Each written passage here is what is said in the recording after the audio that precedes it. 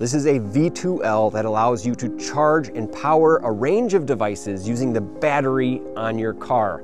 That's right, you can charge all of these devices that I have in back of me using this guy. This is from Tillyard. It has a 120 volt AC outlet for North America, and it will charge up to two kilowatts. What does that mean? Up to 16.7 amps. That's a lot of power.